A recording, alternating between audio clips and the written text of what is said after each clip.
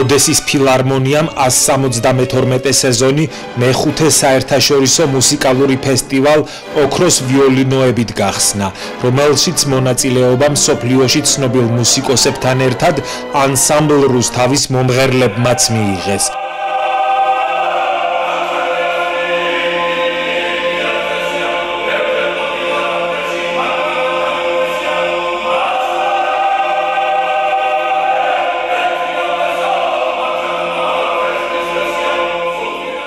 ანსამბლმა რუსთავმა მსმენელს ქართული ფოლკლორის საუკეთესო ნიმუშები წარუდგინა.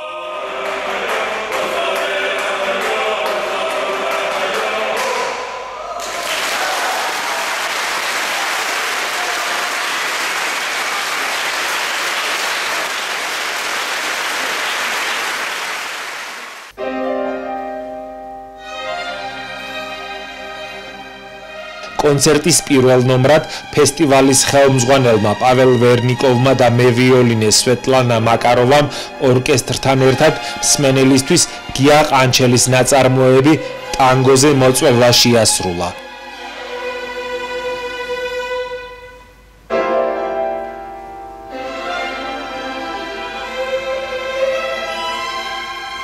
ანსამბლ რუსთავის ფესტივალზე გამოსვლა სამწუხარო ამბავს. დიდი მუსიკოსის გია ყანჩელის გარდაცვალებას დაემთხვა. მუსიკოსებმა და მაყურებელმა ქართველი კომპოზიტორის ხსოვნას წუთიერი დუმილით პატივი მიაგეს. Сегодня пришла очень скорбная, страшная весть. Сегодня не стало великого композитора и удивительного человека Ги Александровича Кончина. Я попрошу всех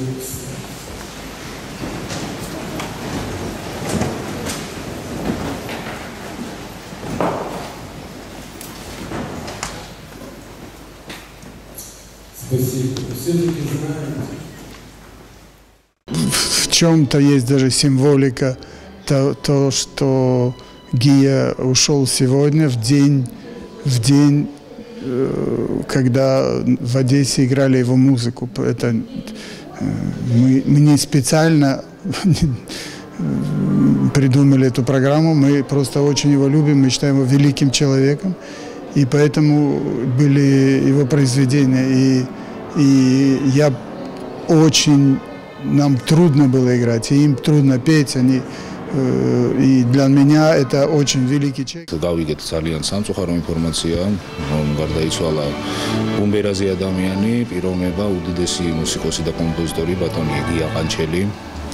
ანსამბლუსთავის სახელით უსამძერებ მის ოჯახს საქართველოს ძალიან დიდი დანაკლისია მე ვფიქრობ არა მარტო საქართველოსთვის მთელი მსოფლიოსთვის და დღეს მისი ხსოვნის საპატივცემლოდ ანსამბლუსთავმა შეასრულა მისი ერთ-ერთი ბოლო ნაწარმოები წოთისოფელი გია ყანჩელს და ანსამბლუს თავს ხანგრძლივი შემოქმედებითი ურთიერთობები აკავშირებდა.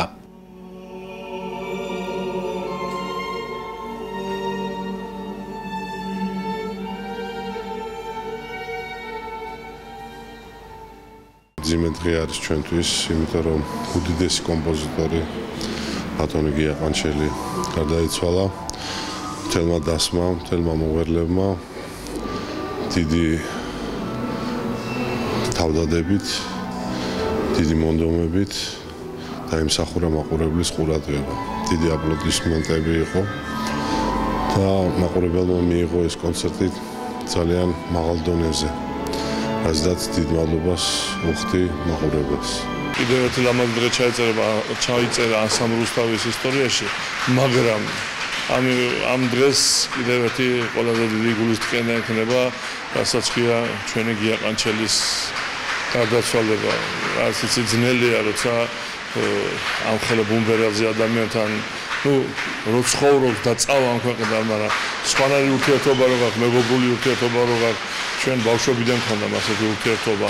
თუ მოხდა მოგცა იმის უფლება და საშუალება, რომ მისივე ოპერაში ღებულობდით მონაწილეობას დაარს მუსიკაში. ეს არის თანმდევი ანსამბლ რუსთავისთვის. ესეთი ადამიანები, ესეთი სიყვარულის ადამიანები, ესეთი კომპოზიტორები და ესეთი ბევრი იყო საქართველოში და ყველა რუსთავის მეგობარი იყო. აი ვარ ბედნიერები და აიც მინდა რომ დიდი სიყვარული შეუთვალო გიაყანჩელს სადაც არის და მაგის ანამ რუსთავი არსებობს გიაყანჩელი ჩვენთან ერთად იქნება ყოველთვის.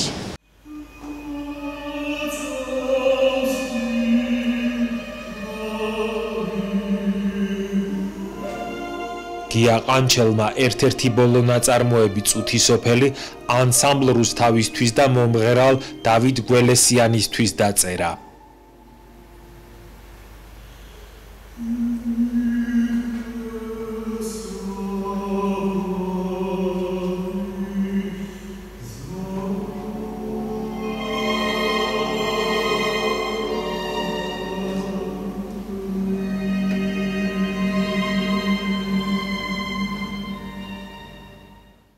ბატონი გია მოვიდა მომიჯდა გვერდით.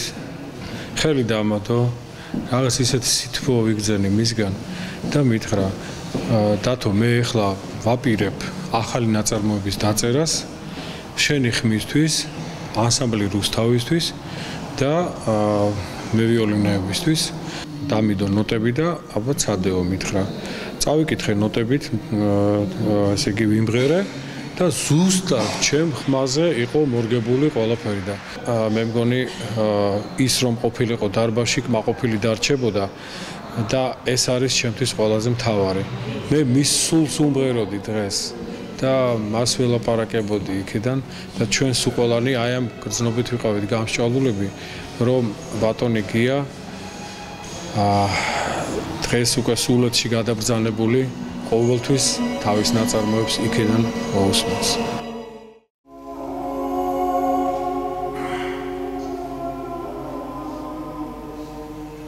ფესტივალზე დასასწრებად უკრაინისა და ევროპის სხვადასხვა ქვეყანაში მცხოვრები მელომანები შეიკრიბნენ. ბევრი მათგანი ოდესაში ქართული ფოლკლორისა და ანსამბლ რუსთავის მოსასმენად ჩავიდა.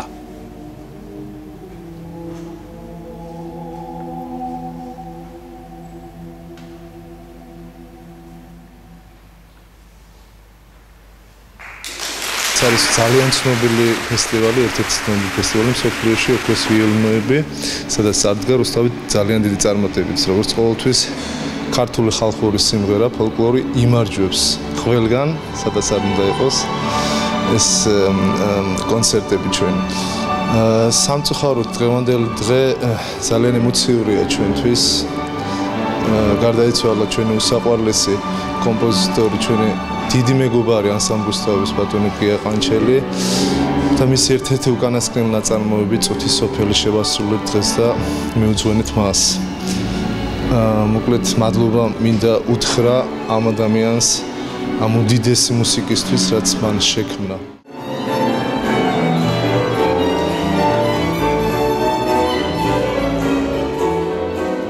ანსამბლურს თავის გარდა მოწონება და აპლოდისმენტები მსოფლიოში ცნობილმა მუსიკოსებმაც დაიმსახურეს. საფესტივალო კონცერტის კულმინაცია პაველ ვერნიკოვისა და სვეტლანა მაკაროვას შვილის ნორჩი მევიოლინე დანიელ ვერნიკოვის სცენაზე გამოჩენა გახდა, რომელმაც ანსამბლურს თავის მომღერლებთან და ასევე ცნობილ მუსიკოსებთან ერთად ერთ-ერთი ოდესური სიმღერაში ასრულა.